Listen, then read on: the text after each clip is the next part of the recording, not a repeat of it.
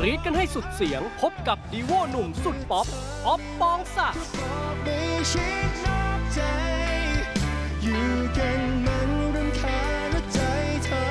ก็พูดออกมา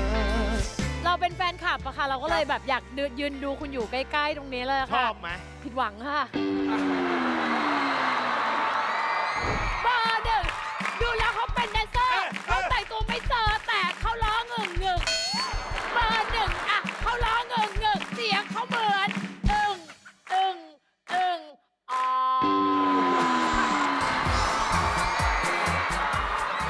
ระวังงูกันให้ดี พุธนี้2ทุ่ม5นาที